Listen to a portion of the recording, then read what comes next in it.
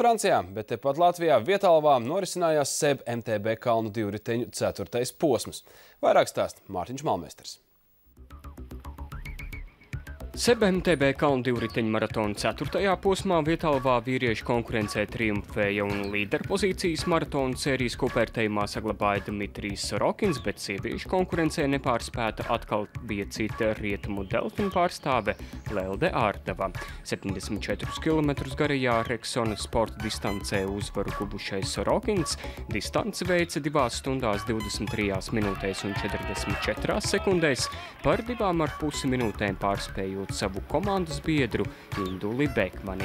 Sieviešu konkurencē Reksona sporta distancē Ārdava triumfēja ar laiku 2 stundas 44 minūtes un 2 sekundes, otrajā vietā atstājot Danu Rožlapu, kamēr trešā bija Madara Furmane.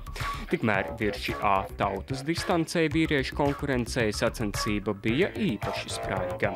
Rezultāts izšķīrās pēdējos trijos metros pirms finiša, kad tukumnieks Jānis Uzols apsteidz apsteidza savu sīvāko konkurentu Jāni Bērziņu.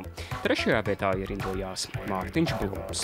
Sieviešu konkurencei virši A tautas distancē uzvaru guva Dace Hartmane, otrā palika Aiga Paegle, bet trešo vietu izcīnīja Inese Zvirkstiņa.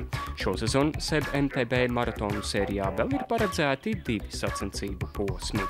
5. augustā sacensības notiks Tukumā, savukārt sezonu noslēdzošais sastais posms notiks 23. septembrī septembrī smiltenei.